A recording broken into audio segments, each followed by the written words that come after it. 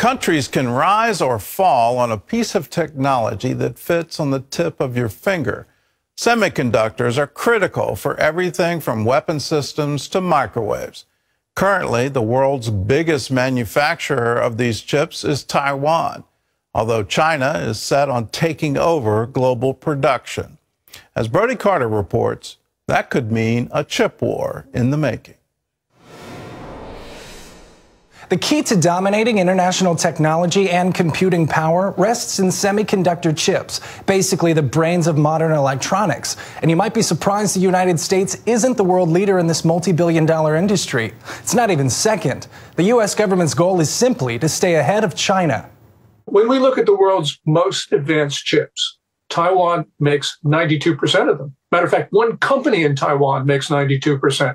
The small island of Taiwan clearly dominates the world's semiconductor market. That single manufacturer Cheng refers to is TSMC, Taiwan Semiconductor Manufacturing Company, and Apple is its biggest customer. So if it were knocked offline, we'd face a huge economic crisis because of our inability to get the chips we need.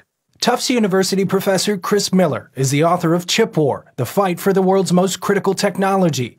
He says the Taiwanese company's dominance in semiconductors makes OPEC's 40% share of world oil production pale by comparison. Today, China spends as much money importing semiconductors as it spends importing oil. And it buys those chips uh, in large part from US firms that make a great business selling to China. The chip industry is made possible by a symbiotic relationship among key countries that forms a very complex supply chain. America, the world's largest market, also makes up 40% of the total value of this international supply machine. Today, if you want to make an advanced chip, the most cutting edge chips that you find in a smartphone or data center, it's simply impossible to do without using software from the US, machine tools from the Netherlands, the US, and Japan, ultra purified chemicals from Japan, as well as manufacturing capabilities in Taiwan. It's an international process. Just a few years ago, China's tech giant Huawei was TSMC's number two customer. Then the Trump administration tightened restrictions, preventing Huawei from getting chips developed by the U.S. due to espionage and national security concerns. Huawei is something that's very dangerous. You look at what they've done from a security standpoint, from a military standpoint, it's very dangerous. If Taiwan were taken over, or even if there, Taiwan wasn't taken over, but there was a war in the Taiwan Strait that Taiwan repelled, even still, the shock to semiconductor supply chains would cause a deep depression in manufacturing industries worldwide. And the reason is that today all types of goods require semiconductors. It's not just smartphones or PCs, sort of high tech goods that you might think of. It's your car, which might have hundreds of semiconductors inside, your coffee maker, your microwave, almost anything with an on off switch today has semiconductors inside of it. More importantly, Miller told CBN News microchips has revolutionized American warfare. Semiconductors made in Taiwan are used in F 35 fighter jets and a wide range of U.S. military grade weapons and defense systems. Since the world's entire tech ecosystem can't function without these chips, that makes the sovereign island ground zero for a chip war between the U.S. and China. And that means that the world's made to order chips are made on China's doorstep.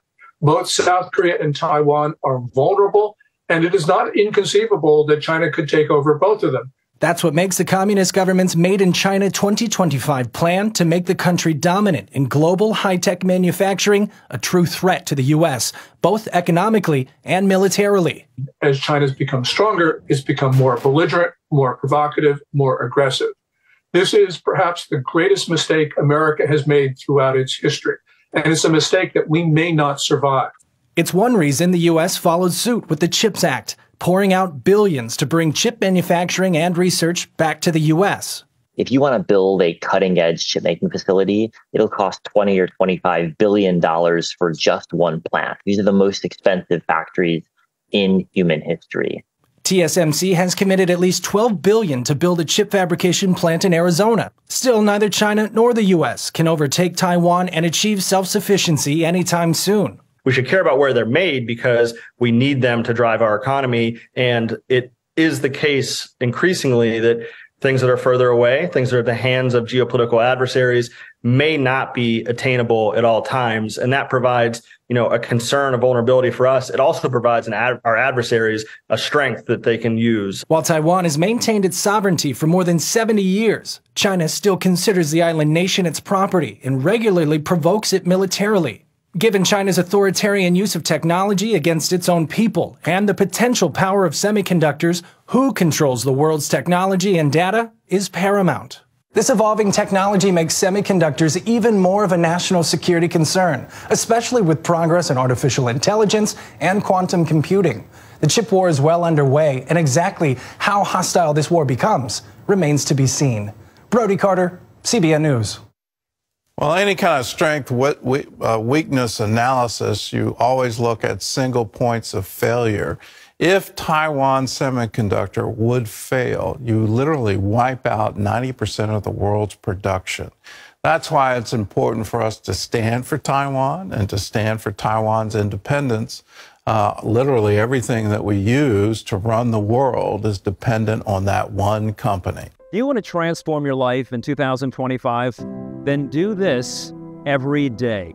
Put on the full armor of God, not some of it, all of it the belt of truth, the helmet of salvation, breastplate of righteousness, shoes fitted with the gospel of peace, the shield of faith, and your offensive and defensive weapon, the sword of the Spirit, which is the Word of God. Why?